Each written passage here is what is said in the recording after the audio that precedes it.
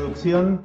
Eh, la verdad, bueno, como, siempre tengo, tengo el placer de poder compartir un poco eh, mi trabajo y eh, las cosas que me, pasan por la cabeza cuando, cuando estamos creando. Así que estoy muy contento de poder hoy, hoy participar al evento Campus Party y poder, poder no solamente hablar de tecnología, que me encanta, de videojuegos también, pero sobre todo hablar del futuro y hablar un poco también de, posibilidades, de posibilidades que tiene el ser humano en este momento eh, yo pienso que es uno, y varios lo piensan, un momento clave en la historia de, nuestra civilización prácticamente.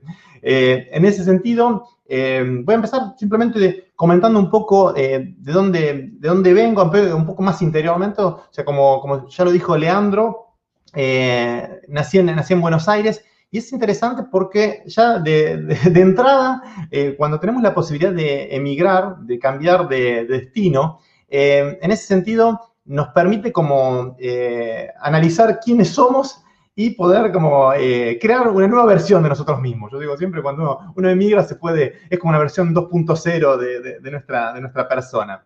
En ese sentido, cuando llegué a Canadá en el 2003, es interesante porque, bueno, sin, sin hablar el idioma francés, que se habla en la provincia de Quebec, en Canadá, uno ya tiene que empezar desde la base de poder hablar y además, bueno, justamente ver cómo puede aprovechar de todo lo que, digamos, de, los recursos, podríamos decir, que tenemos y nuestro talento, voluntad, todo lo que podemos poner, como para darnos una oportunidad de eh, justamente tener una, carrera, poder, poder salir adelante. En ese sentido, simplemente por esta breve descripción, es interesante cómo uno puede eh, constantemente escuchar y eh, pensar un poco qué es lo que uno está haciendo y hacia dónde vamos, ¿no? Y en ese sentido, creo que hay unas cuantas, unos cuantos elementos de, la tecnología hoy en día que eh, me hacen pensar muchísimo, reflexionar con respecto a lo que podría ser el futuro.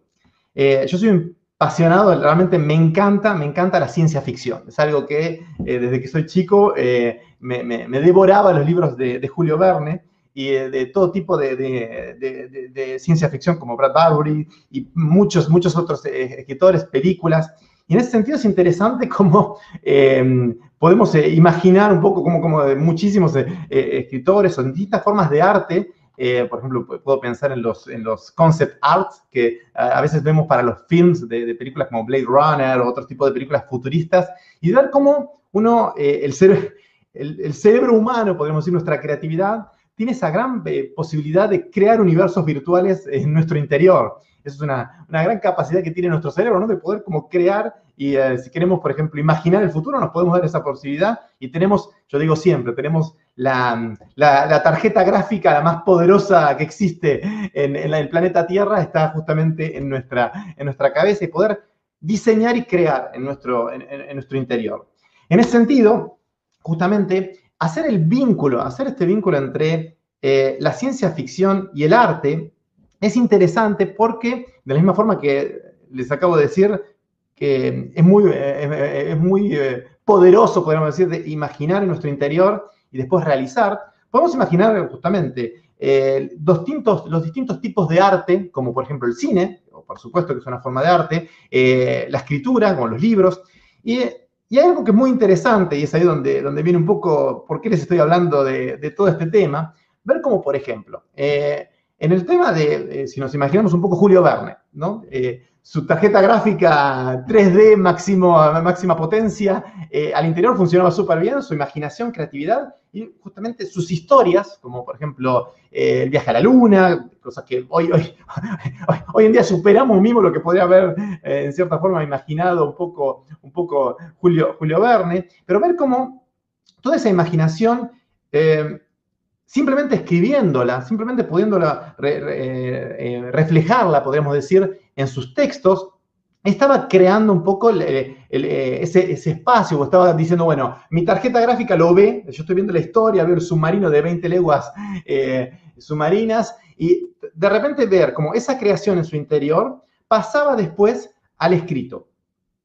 Algo que es muy interesante en otras formas de arte, por ejemplo, cuando hacemos después la versión, eh, podríamos decir, más, eh, más cine, podríamos decir, de, las 20 leguas de, viaje submarino, o por ejemplo el viaje a la luna, en el cine un poco tenemos esta, característica de, tenemos que hacer como en los viejos films de, Far West, del lejano oeste, eh, donde poníamos, ponían todas esas placas para mostrar un poco cómo eh, cómo era el, viejo este en el pasado, pero la cámara, justamente filmamos y bueno, vemos ese ambiente, nos creíamos un poco que estábamos en el Far West, mismo si los cowboys estaban limpios e impecables, sin una gota de, tierra, eh, pero que nos da esa impresión y podemos recrear, podemos recrear en, otra forma de arte, eh, y si vamos al viaje, justamente por ejemplo al viaje a la luna, podríamos llegar a mostrar, mostrar este, este viaje a la luna simplemente en imágenes eh, pero en realidad no hay nada eh, desarrollado. Es todo un poco, podríamos decir, de fake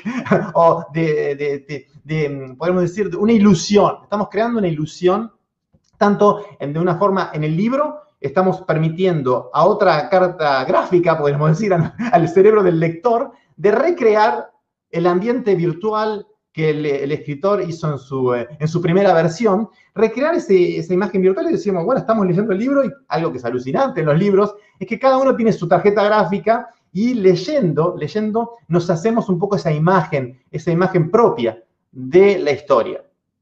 En la película, ya ahí dejamos menos un poco, podemos decir en el film, eh, es más lo que estamos mirando y estamos creando. Podemos creer, por ejemplo, si vamos a film como Avatar. Eh, estamos en Pandora, estamos mirando este, este, la película Avatar y toda, nuestro cerebro cree que justamente esa ilusión es real y nos metemos en la historia, eh, pero mismo en, la industria del cine, todo lo que se está haciendo, mismo con el 3D, eh, con eh, los diferentes materiales, todo lo que hacemos, sigue siendo un poco, sigue siendo un poco como en las películas viejas del oeste, o sea, estamos armando todo como para que se vea un poco esa, esa ilusión y que podamos mostrar imágenes mostrar imágenes. ¿Y a dónde me voy con todo esto? Capaz alguno ya comienza, comienza a, verlo. De hecho, vamos a otro medio de arte. Si, no lo sabían, los videojuegos están considerados como un medio artístico también. Eh, y en ese sentido, si hablamos de videojuegos, ¿cuál es la gran diferencia? ¿Cuál es la diferencia que tenemos con respecto a los libros de Julio Vernes o a las películas? Algo que es impresionante, impresionante con los videojuegos es la tecnología. Y es en esta tecnología que, según mi punto de vista, no, llegó todavía a ser valorizada, valorizada como debería, tenemos elementos, tenemos elementos que son muy importantes, muy importantes si los comparamos con la ciencia ficción, pero si lo comparamos también con la realidad. Y es ese viaje, es ese viaje que yo quisiera presentarles en esta, en esta presentación. ¿Cómo viajamos, cómo viajamos en, creando en, este medio de arte que es la industria de videojuegos? ¿Cómo viajamos y cómo la ciencia ficción es por la primera vez un elemento bastante extraño que estamos haciendo, porque en el pasado, como yo les decía, creábamos la ilusión. La ilusión para que se parezca. Pero hoy en día nos está pasando algo interesante que, que si analizamos un poco lo que hacemos en la industria de videojuegos y lo que es el futuro que estamos construyendo, hay muchísimas similitudes. Jamás un medio artístico, jamás un medio de imaginación estuvo tan cerca de la realidad y tan cerca de, eh, del futuro. En ese sentido, por ejemplo, ahí voy a compartir de nuevo, más bien vamos a empezar a hablar de, justamente de autos inteligentes o, eh, eh, eh, de autos que van a manejarse solos. O sea, sí, esa es la, ciencia ficción, pero hoy en día, hoy en día nadie se asusta, nadie se asusta de decir, sí, hay autos que manejan solos. Sí, hay autos en algunos lugares que manejan ya solos. O decir que justamente va, a empezar a haber viajes turísticos al, al espacio.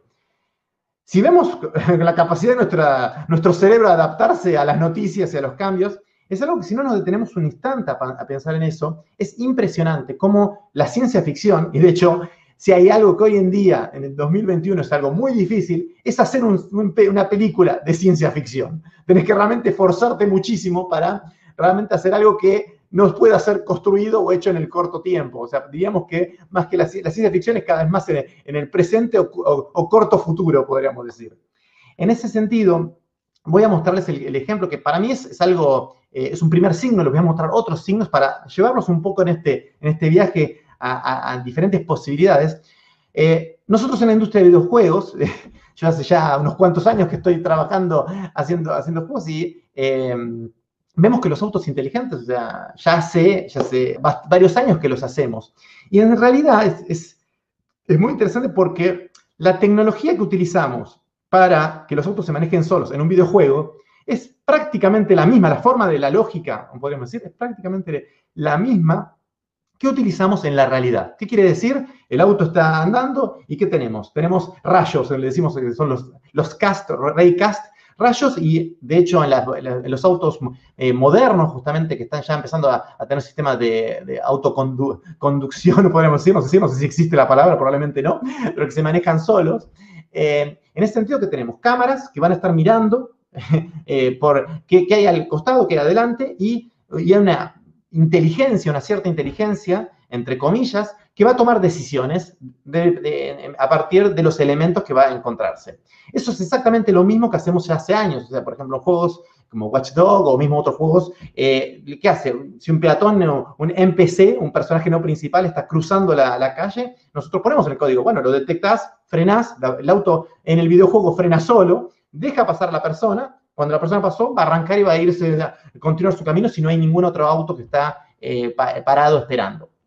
En ese sentido, los sistemas, y la prueba perfecta es que muchísimos programadores, por ejemplo, que trabajaban para la industria de videojuegos eh, ayer, podríamos decir, hoy están trabajando para compañías de, autos que están desarrollando eh, sistemas de, conducción autónoma. Entonces, es ahí un poco como, les doy un poco un, indicio, un indicio de hacia dónde me estoy yendo con esta presentación. Es como picar la curiosidad en ustedes de decir, bueno, o sea, todo lo, que estamos haciendo, toda la tecnología que utilizamos en, los videojuegos es en cierta forma, es en cierta forma eh, la tecnología que va a ser utilizada para, el futuro. Eh, tengo un par de ejemplos más como para, alimentar un poco esto y, un poco soñar y, soñar y, que, y algo que es muy interesante con el futuro, es por eso que, me detengo un instante a hacer esta clarificación, es que la tecnología eh, no deja de ser, yo lo comparo con un, con un martillo, una masa. Eh, es, una, herramienta, simplemente una herramienta. Y eh, esa herramienta, como mismo podemos decir, mismo, eh, si vamos a la tecnología en general, cuando el, ser humano descubrió cómo podía prender un fuego, si, si, lo comparamos con eso, también es tecnología. Y está en nosotros, justamente, qué es lo que queremos hacer con esa tecnología. Y en ese sentido es muy, muy, muy del momento. O sea, un, fuego yo creo que es un ejemplo perfecto de tecnología que puede ser utilizada para hacer una, calentarse una, una sopa o hacerse eh, justamente un, eh, un, fuego con amigos eh, y, charlar un rato. O también puede crear incendios el fuego. Entonces, en ese sentido yo lo que digo que no es en sí la tecnología que, puede ocasionar problemas, sino la utilización que le damos. Eso yo creo que es claro para todo el mundo, pero está bueno hacer el punto en esto porque eh, la industria de videojuegos, esta tecnología que estamos teniendo, vamos a tener que justamente pensar al futuro y cómo lo utilizamos de la mejor, de la mejor forma. Y es ahí donde, bueno, justamente vamos a poder eh, hablar un poco más en esta presentación. Eh, un otro ejemplo que es muy interesante, toca directamente mi trabajo, que soy, como, lo decía Leandro, soy director técnico animación. ¿Y qué es un director técnico animación? De hecho, es un artista que también tiene un lado técnico, y, por supuesto, y que crea nuevos sistemas de animación y que imagina un poco en estos videojuegos cómo, de la misma forma que imaginamos, cómo decir, bueno, necesito hacer un juego de, autos que se maneja, que quiere entrar eh, a trabajar en la industria de videojuegos y me muestra una animación de este personaje, yo voy a decir, eh, mm, no sé si te vas a conseguir un trabajo como animador. Pero ¿qué es lo interesante de este, de este personaje? De hecho, es un trabajo que se hizo eh, con un colega mío de, trabajo, Simón Clavé, eh, que presentó esto en, varias conferencias, y es, de hecho, son sistemas de eh, inteligencia artificial o de, podríamos decir, de neuronas, un sistema de neuronas, que de hecho, lo que están viendo aquí este personaje no está caminando en animación, este personaje está aprendiendo a caminar, que es mucho más interesante. De hecho, le estamos diciendo a este personaje virtual, de nuevo, están utilizando un motor de juego, le estamos diciendo, bueno, tenés que caminar del punto A al punto B, después del punto C, le decimos dónde caminar y le ponemos un montón de obstáculos. Y él solo, él solo comienza a ver cómo puede hacer para, eh, para, eh, para poder, eh, justamente para poder, en cierta forma, aprender, aprender a no caerse, a no caerse. Y es ahí donde está, es muy interesante porque, ahí creo, voy a ver si simplemente voy a tratar de... Dos segundos si podemos cortar la, presentación, dos segundos, porque me parece que la... Ahí está. Eh, ahí está. Me manco una diapositiva que se las voy a contar. Eh, de hecho, lo que les quería mostrar, que es, eh, una, no sé si los han visto, si no pueden ir, porque acabo de ver que tengo un, pequeño problema con mi presentación. Eh, si ven un poco lo que eh, pasa con empresas de robótica, como Boston Dynamics, o que vemos, hay muchos videos de robots que los podemos empujar, los podemos, los podemos en cierta forma, cambiarle sus aspectos, tirarle cajas. y en ese sentido, les pido disculpas en la diapositiva que acabo de ver que se, la, acabo de perder en mis últimos retoques de, presentación. Lo que les quería mostrar es justamente eh, cómo eh, todo lo que estamos haciendo en la industria de videojuegos y de hecho hay cada vez más colaboraciones. Por ejemplo, eh, en la empresa donde trabajo, Ubisoft, hacemos colaboraciones, por ejemplo, con la Universidad de Concordia, en donde trabajamos en conjunto porque decimos, bueno, lo que están haciendo para la parte de animación es exactamente lo mismo que se necesita para la robótica. Entonces, en ese tipo de puente, mismo puente entre autos inteligentes y robótica, vemos, vemos cómo hay de nuevo una construcción de lo que se vino del futuro. O sea, eh, en ese sentido hay varias, varias ventajas. Nosotros analizamos el cuerpo y algo que es muy interesante entre la ciencia, y ya hablo de la ciencia, no de la ciencia ficción, la ciencia y encima la industria de videojuegos, que además que estamos haciendo lo mismo que quiere hacer la ciencia, estamos pensando en que sea bonito y que sea artístico y que funcione bien. Entonces, por ejemplo, por ejemplo, si queremos que un personaje aprenda a caminar, no queremos solamente que aprenda a caminar como le mostramos ahí en, la, en el video que les acabo de presentar, sino que queremos que encima camine bien, que sea bonito y que sea una, una buena representación artística. Y eso es impresionante porque demuestra mismo nivel de control superior, superior a lo que mismo la ciencia considera como funcional. Eh, pues, es algo, es un chiste que, hacemos mucho entre programadores. Tengo la suerte de, en mi trabajo, trabajar entre programadores y artistas, ¿no? Y en ese sentido es muy, muy divertido de ver, por ejemplo, que eh, un programador que está, eh, nosotros tenemos, pues, la industria de videojuegos cuenta con muchísimos programadores animación. Programador de, de animaciones que trabaja directamente en la tecnología, como le mostraba, por ejemplo, Simón Clavé, mi colega de trabajo es un, programador de animación, va a crear sistemas de animación. Y el programador va a decir, mal, está bien, camina, ya está, está correcto. Cuando siento. Ahí es cuando dice el programador camina, si es verdad, es ahí donde el artista dice, sí, pero no podemos ver, eh, digamos, los juegos no pueden tener un personaje que está como borracho tratando de caminar, necesitamos hacer algo más, eh, más avanzado. Y es interesante porque es ahí donde pegamos el salto, podríamos decir, a lo, que es la ciencia ficción, ¿no? Con lo que en, la industria de videojuegos no creamos solamente lo funcional, sino que vamos a ir al, elemento realidad. Y en ese sentido, el elemento realidad es, queremos en este universo virtual de nuestra tecnología, queremos recrear exactamente lo que existe en el universo real. Y eso puede dar mucho lugar a que esta tecnología pueda ser utilizada en diferentes posibilidades. Por ejemplo, un robot hecho a partir de tecnología de la industria de, videojuegos de acá hace algunos años, o no muchos, ¿eh? ¿eh? podría no solo caminar, eh, recibir justamente tipo, todo tipo de inestabilidad del exterior, recibir una caja que le tiramos, una pelota, pero lo haría de una forma muy parecida a lo que lo haría un, un animal real o un ser humano real. O sea, como de la misma forma que yo me estoy moviendo, nuestra intención es crear ese tipo de tecnología. Y es ahí donde la combinación es un, es un match perfecto, porque dependiendo, eh, dependiendo de lo que quisiéramos lograr, eh, en ese tipo de tecnología podríamos tener eh, el desarrollo, sí, del robot funcional, el robot que tiene esta inteligencia, el robot además que, que tiene esos, esos, movimientos, podríamos decir, de adaptarse, de adaptarse al, al, al, ambiente, al contexto, por ejemplo, si hay en, superficies más, más, más complicadas que pueda adaptarse a eso, pero en una forma aplicada a lo que conocemos de la realidad, en el sentido de que sea lo más parecido a un ser humano, lo más parecido a un animal, y en ese sentido abre la puerta a distintas funcionalidades. Un ejemplo que, les, puedo, que les puedo ofrecer, y vamos a compartir de nuevo la pantalla, eh, es eh, eh, un, un, módulo del motor, del motor Unreal que eh, impresiona bastante, impresiona bastante porque eh, se llama MetaHumans y nos permite justamente crear eh, caras y todo lo que es la parte facial, podríamos decir, la parte facial de los personajes. Y es muy interesante porque eh, uno, estamos mirando que la, eso que la pantalla que están viendo es, justamente el sistema de rig, la animación, el personaje que está listo para ser animado. Pero lo que es muy interesante, en el mundo de videojuegos no solamente animamos los personajes como si fueran marionetas, ¿sí? sino que a causa, por ejemplo, les voy a dar ejemplos, en, Assassin's Creed Odyssey eh, tenemos aproximadamente unas eh, casi 70 horas de diálogos, de personajes que hablan.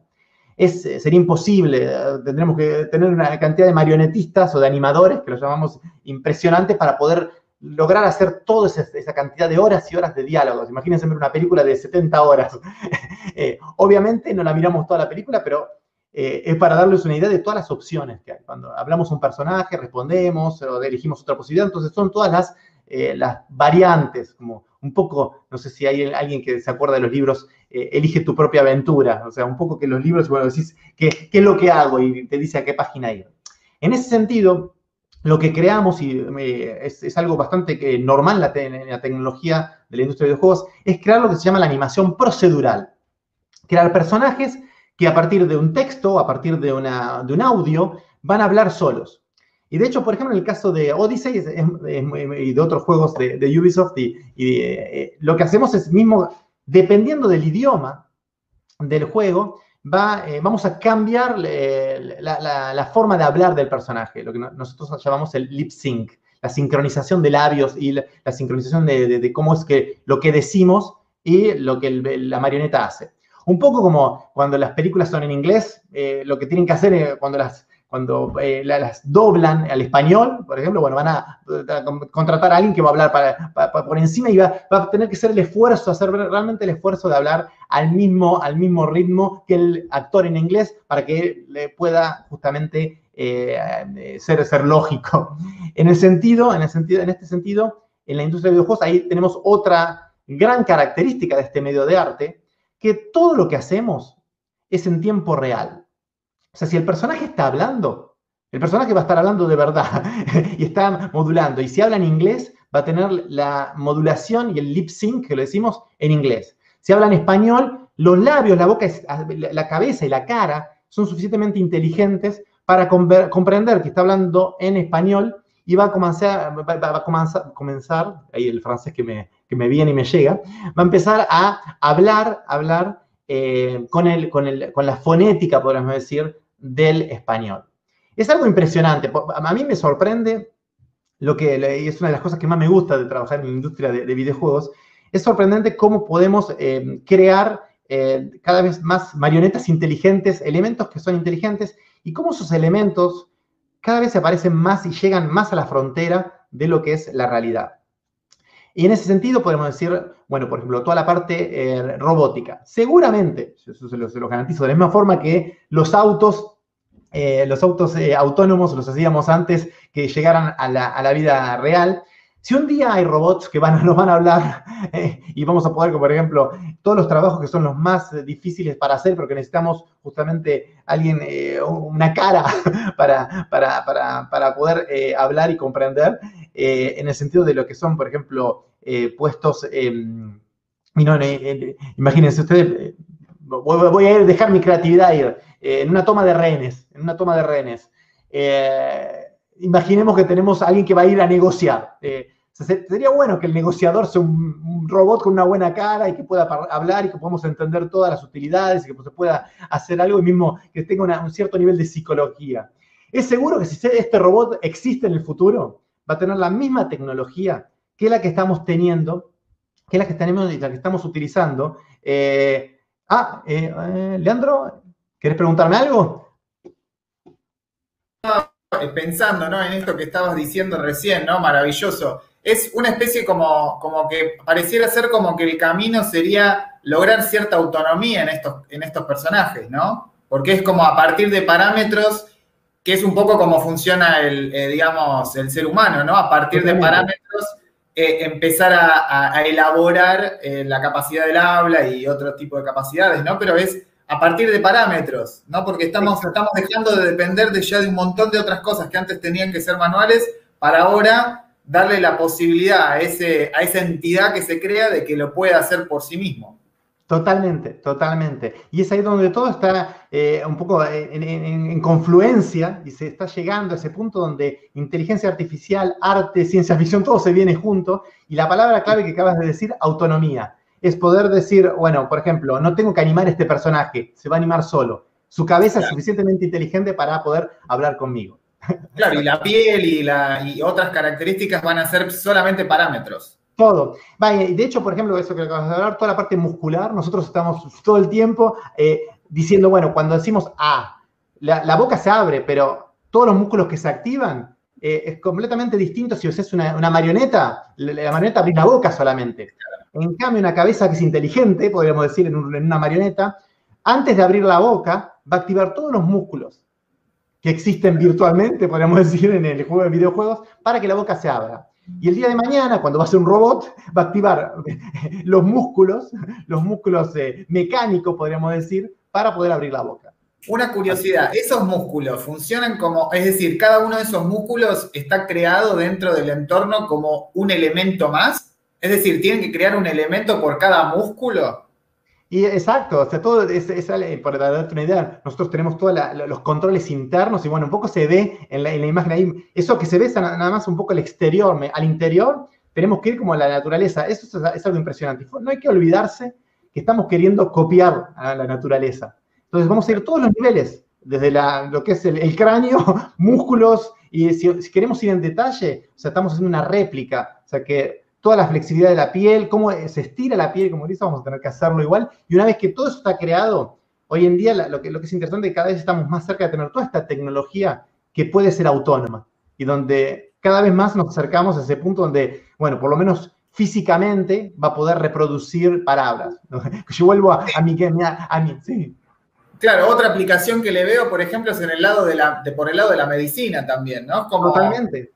Eh, poder digamos, como así como estás emulando desde el lado de la robótica y que eso permite poder justamente emular y anticiparte al, modo de fabricación, porque estamos hablando de una emulación, está lejos la fabricación de eso, ¿no? Como que pareciera ser que el mundo de, los videojuegos es como justamente un, terreno fértil para poder probar, emular, eh, bueno, esto que estás diciendo, tanto la robótica como la medicina, porque también me, imagino que en el, en el futuro, yo me imagino que en el futuro vamos a tener la posibilidad de crear órganos virtuales, es decir, órganos, eh, eh digamos, eh, que, no son de nuestro tejido, pero y eso va a ser posible gracias a todo, esta, todo este desarrollo que se, está haciendo. Es más, exacto, ahí todo casi. Y después, mira, te vas a ver que todo lo que estamos hablando se, representa un poco en, lo que vamos a hablar después. Y en ese sentido es impresionante cómo, eh, y, quisiera que un poco eso, si yo, mira, si en la presentación de hoy pico la curiosidad de gente que mismo capaz no está tan cerca de los videojuegos y, que empieza a decir, uy, pero ahí hay, algo, que, algo que, es, pero más que interesante para crear simulaciones de sistemas, para poder como eh, mismo decir, bueno, ¿qué es lo que se puede hacer? ¿Cómo es lo que, lo estamos haciendo en, la industria de videojuegos? ¿Y qué se puede aplicar de eso que estamos haciendo en los videojuegos para construir un futuro, un futuro mejor, podríamos decir? No es solo entretenimiento. No es solo exacto, exacto, exacto. Así que, eh, y en este sentido, ¿por qué? Porque es muy interesante. Ahí te, eh, eh, te, voy a pasar, si podemos poner la, diapositiva de nuevo.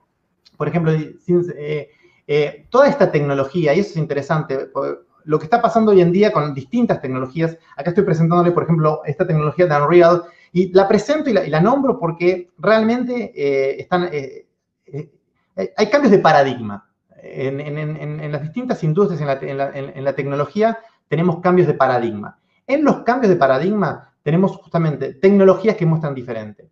Y en este caso, les estoy pensando porque eh, lo que está haciendo la, gente de Epic, en ese sentido con esta tecnología, tecnología que de hecho es para aprender, para simular, para todo lo que no sea, por ejemplo, eh, por ejemplo, mismo para hacer películas, es tecnología que está gratuita y disponible para ser bajada, trabajada, aprendida y en ese sentido es algo que es impresionante como eh, em, eh, estamos empezando tranquilamente a decir universidades que dicen, eso está, toda esta tecnología de simulación, que puedo hacer autos inteligentes, que puedo hacer personajes, ¿está disponible? Sí, está disponible. En ese sentido, lo, que, lo que quiero mostrarles con esto, que hay un terreno de juego un terreno de juego muy grande, muy grande para empezar, empezar a resolver mismos problemas de la sociedad a partir de esta tecnología que está disponible, que es accesible.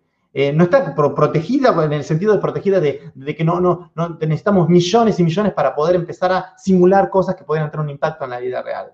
Y en ese sentido, les quiero, les quiero compartir algo que para, mí eh, me, inspiró muchísimo. Es una, de las historias que más me, inspiraron. Realmente que, me, hicieron un poco reflexionar a, cómo utilizamos los recursos que tenemos para hacer problemas para hacer frente a los problemas que nos pueden, nos pueden llegar a, arribar, a llegar. Y en ese sentido, si hay algo que estamos seguros hoy en día, en el 2021, es que tenemos varios problemas los seres humanos en el sentido de cómo estamos utilizando la tecnología y el impacto que tenemos en nuestro planeta.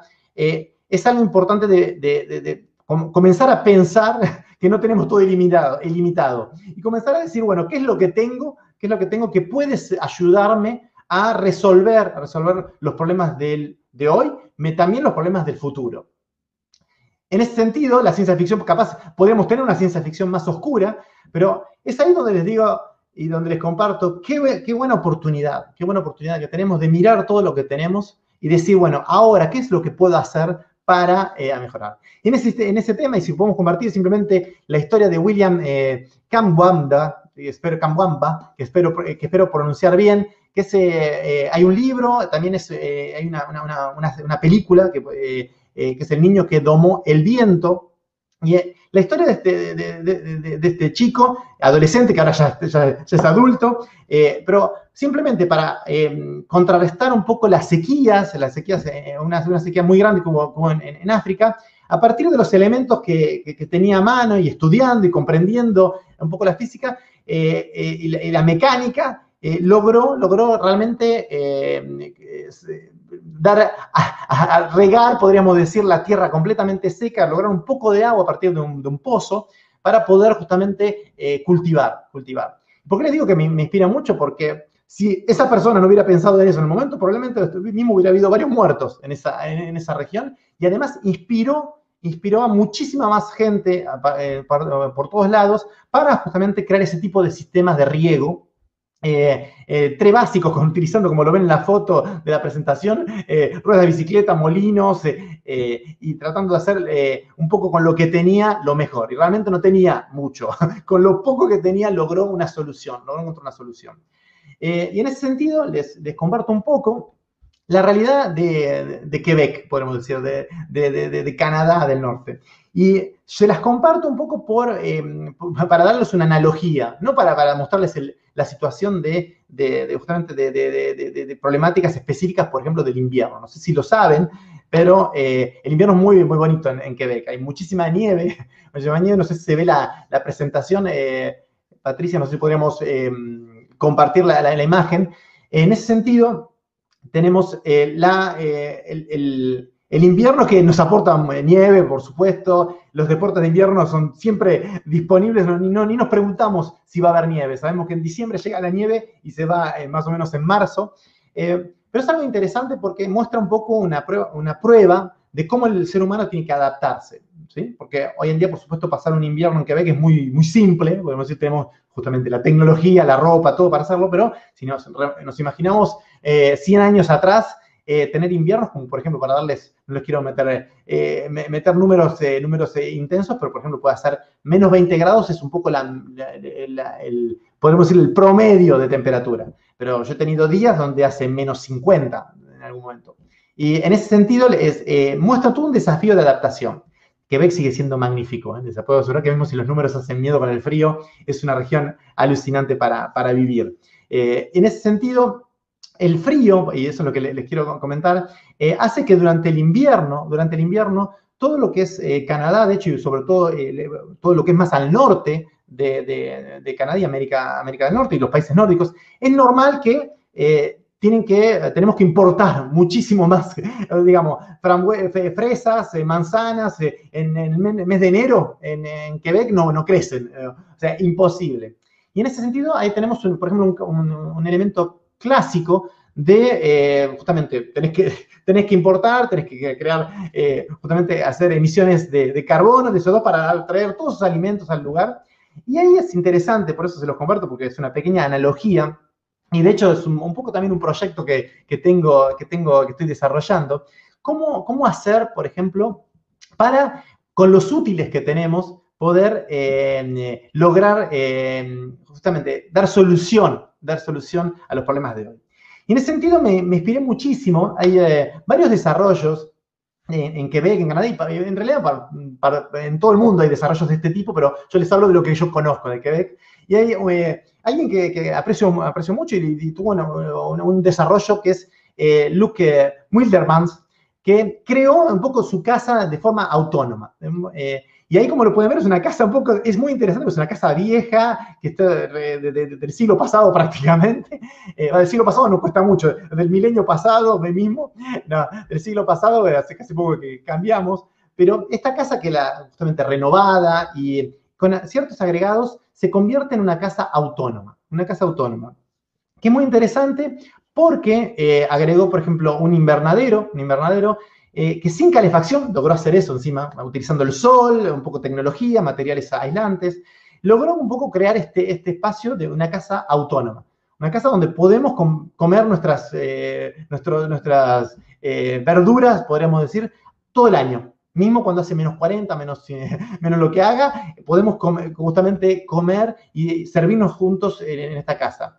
mismo nivel de la electricidad, con paneles solares, y en ese sentido, esa, e, casa autónoma que ah, de nuevo me, inspira mucho y lo ven, lo ven un poco en relación a lo que yo dije de, em, mi ejemplo em, de, nuestro amigo africano que encontró soluciones para la sequía, cómo el ser humano puede adaptarse y encontrar soluciones innovadoras para hacer frente a los problemas de hoy y los problemas de mañana. En ese sentido, el impacto de una solución como la que Luke hizo es impresionante porque, bueno, ya muchísimo menos, por lo menos para él, él consume menos gas eh, a efecto invernadero, es gracioso porque hizo un invernadero, pero eh, genera muchísimo menos CO2 para vivir que otra persona que, como todo el resto de nosotros, que tenemos que, comprar productos que vienen justamente de lejos para poder, poder eh, justamente comer. En ese sentido, y es ahí donde, donde, donde un poco, voy a cambiar un poco para, para que vean un, tengan una idea, es ahí donde vemos un poco, ahí estamos viendo el interior del invernadero, que mismo en invierno hace que puedan seguir, eh, eh, además, no solo invernadero, lluvias y cae granizo, o sea, las plantas van a seguir creciendo, o sea que eh, Luke tiene lo que se llama, consiguió la autonomía, por lo menos en, en verduras. y en este sentido, es interesante porque eh, Luque, que, da presentaciones, en un momento decía, sí, es, cierto que está, buena la solución, pero eh, me eh, contaba que es mucho trabajo. Imagínense cómo hacer crecer, hacer crecer las verduras, las frutas, mismo hay sistemas, por ejemplo, de, de, acoponía, acuaponia, creo que se dice en español, ahí es una palabra bastante complicada, donde mezclamos un poco, por ejemplo, el mismo peces, por ejemplo, si tuviéramos, imagínense, podemos tener truchas, otro tipo de, peces que van a vivir justamente en el invernadero, conectados un poco con el sistema de crecimiento de plantas, o sea que las heces de, los, de los peces van a contribuir como una especie de abono, en cierta forma, de, de nutrientes al crecimiento de las plantas con lo que prácticamente podemos crear una especie de, sistema, de sistema, eh, de ecosistema mismo, de un sistema que, tiene una, podemos decir, un ciclo y que se autorrenueva en nuestro interior de nuestra casa. Imagínense, sería tema, tema interesante. Pero bueno, yo les quería compartir esto simplemente un poco para, inspirar y decir, bueno, pero Pablo, ¿qué tiene que ver la industria de videojuegos con todo esto que me estás mostrando? Porque capaz si hay, un gamer ahí que quería ver cosas de, de hardcore video, videojuego, eh, en ese sentido está un poco capaz diciendo, ¿dónde están los personajes animados y todo eso?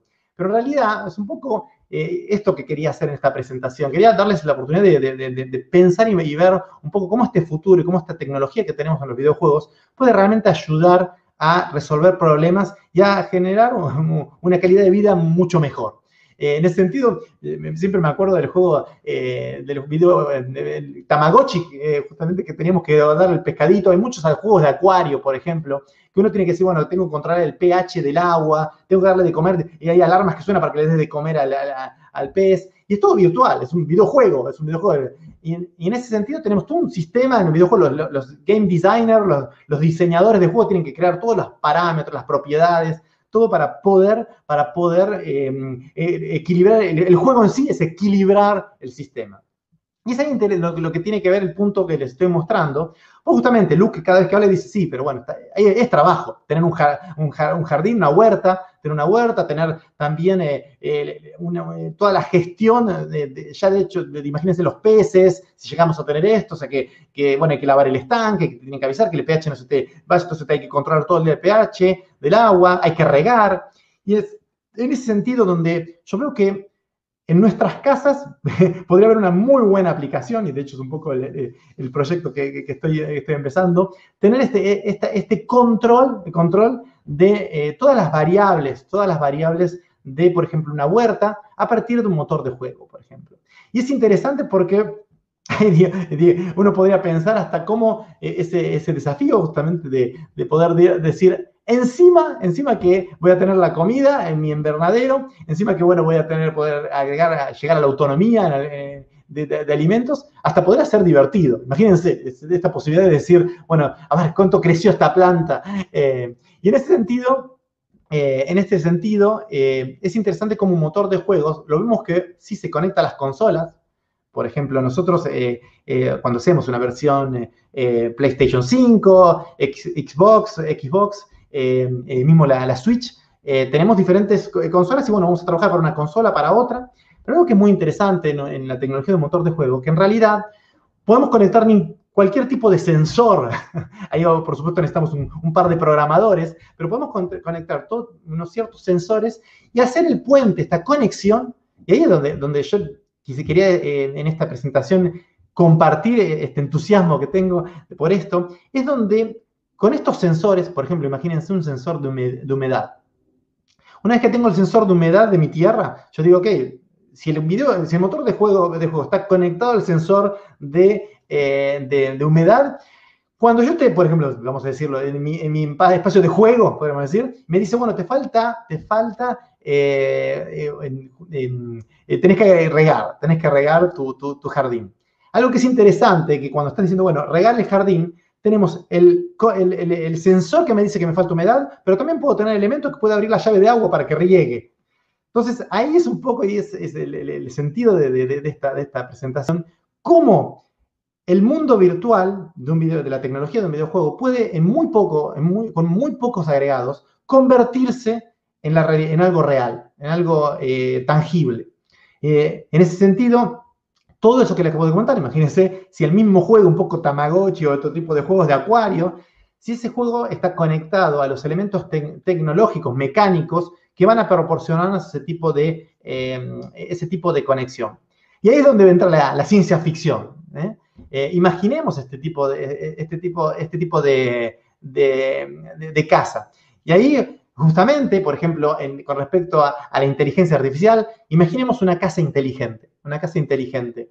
Y ahí es donde, eh, en ese sentido, la industria de videojuegos, de nuevo, de nuevo, eh, yo creo que la gente, espero, espero que que, eh, los inspire. ya me dice, sí, Leandro, cuando, cuando quieres, ahí te, ahí te dejo, termino esta frase y, hablemos. Y es, ahí donde quiero justamente ofrecerle que, por ejemplo, en la casa, imaginemos una casa autónoma, una casa autónoma, donde eh, eh, todo se, se, realiza, sí puede ser, imaginemos la primera etapa manualmente, de decir, por ejemplo, si está, por ejemplo, está haciendo mucho sol, está haciendo mucho sol, no que bajar la persiana de la, del invernadero. Como estamos hablando de ciencia ficción, no podemos hablar de, todo lo que nos imaginamos.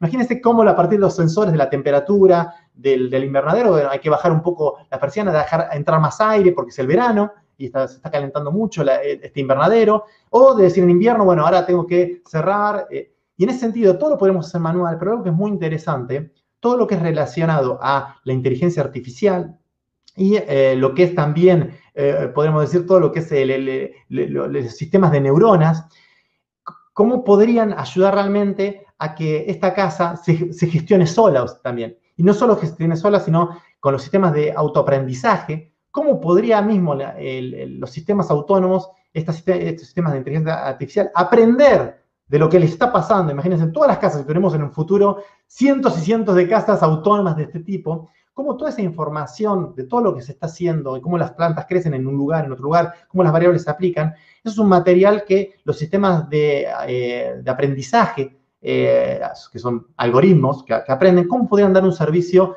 ah, para mejorar, para mejorar nuestra calidad de vida y construir un futuro donde, bueno, capaz en, países como Canadá podamos eh, comer, comer una, ensalada, una ensalada fresca sin que generar gases a efecto invernadero y eh, sin tener que justamente salir de la casa. Así que bueno, Leandro, decime.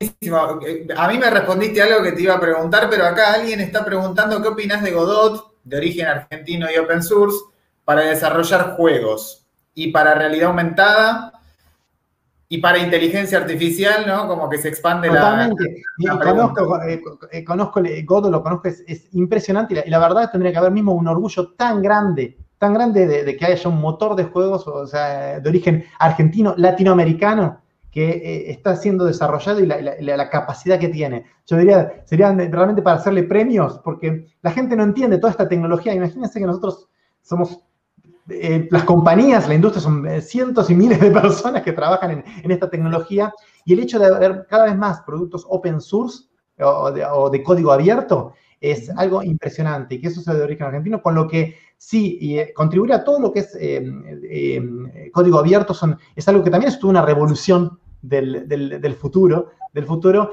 y es algo que, que totalmente, totalmente a tener, a tener, em, a tener en, eh, presente y, darse cuenta, darse cuenta que cómo esta tecnología que está disponible, poder utilizarla y también contribuir, contribuir a, hacerla crecer, es algo que marca un poco eh, un futuro de sociedad de este tipo. ¿eh? O sea, porque estamos hablando hoy en día que haya cosas justamente gratuitas ya es algo, es algo interesante y poder como tener disponibilidad, acceso a, a los conocimientos y poder utilizarlos y encima, bueno, el, código de, open source, poder, eh, o código abierto, poder contribuir también a, eh,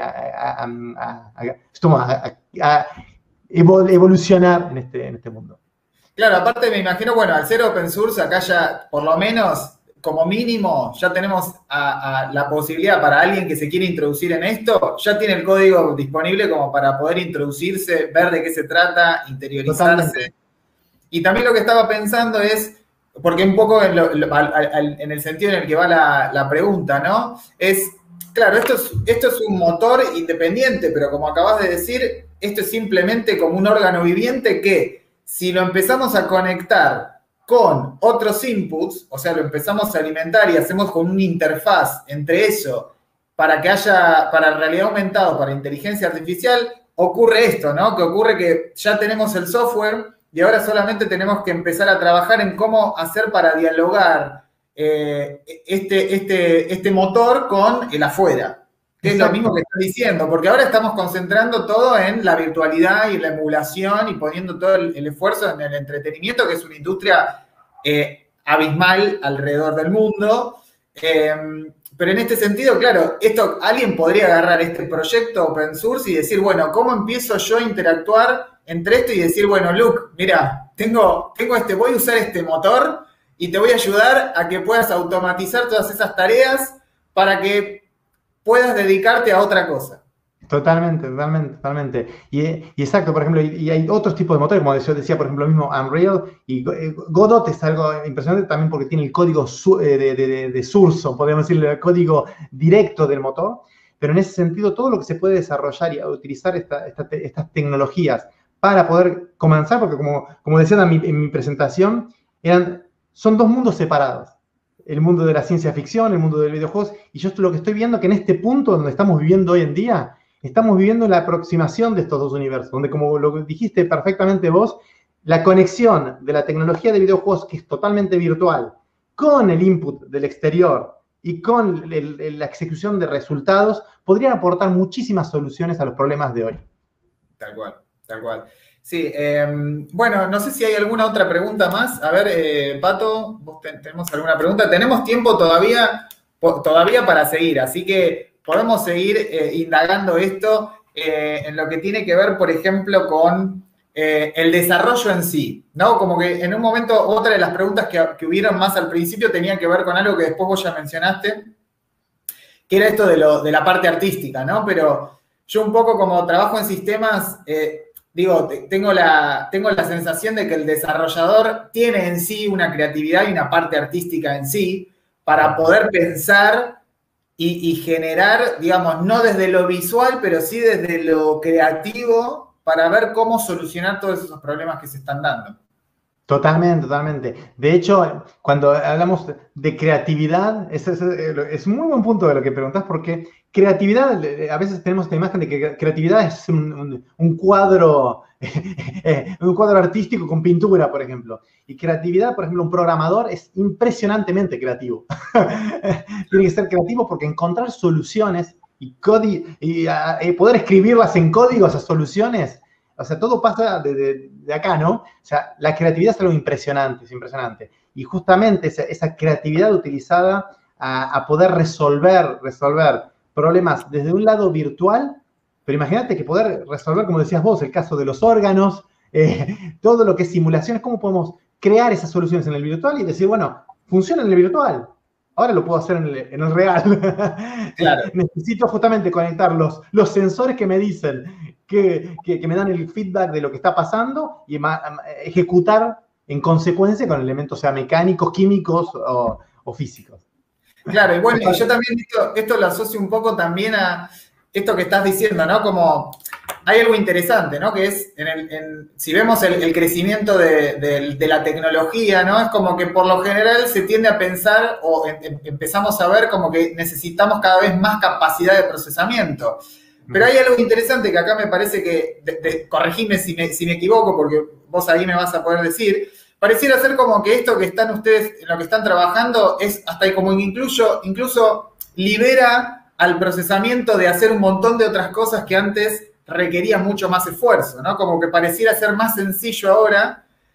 Digo, es más sencillo de, desarrollar y la tecnología también va creciendo. Entonces, ¿cuál es el desafío? la pregunta sería, ¿cuál es el desafío o es el desafío en, términos de capacidad de procesamiento? Yo creo que esa, es una muy buena pregunta y lo que, lo que también termina pasando, o sea, yo siempre me, así, siempre me impresionó, me impresionó, eh, hablábamos de Julio Verne, el viaje a la Luna, después el ser humano fue a la Luna, y si hoy comparás la tecnología que tenían eh, la NASA cuando mandaron las misiones Apolo, eh, hoy creo que, eh, por supuesto, nuestros teléfonos, una misma una calculadora, una calculadora científica, tiene más, más fuerza, más, más capacidad de procesamiento que, que, todo lo que tenían en, las misiones Apolo. En ese sentido, lo que, se está, lo, lo que estamos pudiendo ver, que no que, sinceramente, a nivel del procesamiento, para las problemáticas que tenemos, eh, no va a ser el elemento que va a bloquear, eh, bloquear el, continuar a desarrollar soluciones. En ese sentido, vemos, es impresionante cómo, em, lo vamos a ver, en la industria de videojuegos va a ser un, punto clave, un elemento clave que va a responder, para responder un poco a tu pregunta. Imagínate que el punto donde queremos llegar todos los desarrolladores de videojuegos es que un videojuego sea exactamente igual que la misma calidad de las películas eh, de, alta definición eh, máxima que, como vos decís, por ejemplo, una película como Avatar, por ejemplo. Los personajes virtuales y los reales, no sabes cuál, eh, no sabes cuál es el real, cuál es el virtual, o sea, están, todos mezclados, y, pero te decides, ¿es real, es virtual? Los videojuegos ya va a llegar, muy, dentro de muy poco tiempo vamos a jugar un videojuego con la calidad, con la calidad de una película y vamos a decir, este ser humano es real. Entonces, en ese sentido, es ahí donde el procesamiento va a llegar a su punto donde en la, video, en la industria de videojuegos, si los procesadores van a lograr hacer en tiempo real, de nuevo yo hablo de tiempo real, a cada, a cada eh, microsegundo, nanosegundo, lograr crear esta realidad, va a ser ese punto donde vamos a llegar, por lo menos en la industria de videojuegos, al punto de lo que se necesita a nivel de procesamiento. Y todo lo que va a venir después es como decir, bueno, lo usamos para, para otras cosas. Claro, igual no pierdas, no pierdas en consideración que se está acercando, o sea, todavía es muy, tiene que crecer, pero la, computación cuántica, la computadora cuántica, ya se están haciendo experimentos y, probablemente en el futuro ya esté entre nosotros. Con lo cual, ahí ya vamos a pegar un salto que va a ser abismal en el sentido de capacidad de procesamiento. Así que bueno, estamos hablando en estos términos de posibilidad hoy, pero bueno, hay, hay, un, salto de paradigma que probablemente se vaya a dar y que vaya a saber uno cómo será el resultado cuando tengamos la computación eh, cuántica al servicio de los videojuegos y al servicio de las soluciones que, se, pueden, que se pueden dar a partir de todo esto.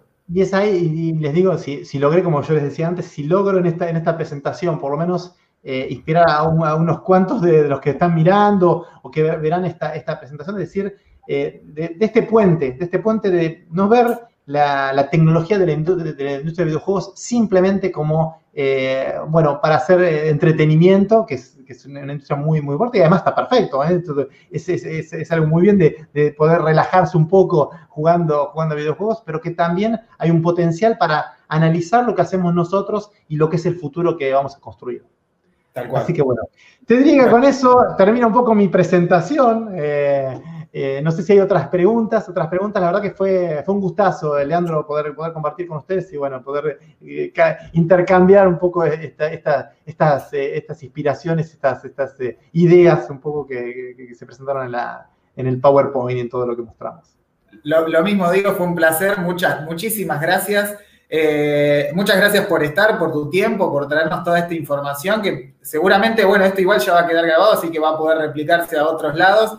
Así que muchísimas gracias, fue un gustazo, una información súper valiosa y creo que sí va a inspirar a muchos. E invitamos al resto de, la audiencia para que sigan conectados con este última, esta última jornada de Campus Party edición digital 2021. Así que los, los, invitamos a que sigan disfrutando de esta experiencia junto a nosotros. Muchísimas gracias, Pablo. Espero verte en el futuro y que anden todos muy bien. Muchas gracias. Buenísimo. Muchas gracias, Leandro. Muchas gracias, Patricia, que bueno, no la vieron, pero está atrás todo el tiempo haciendo que todo funcione bien. Listo, nos estamos viendo. Que tengan un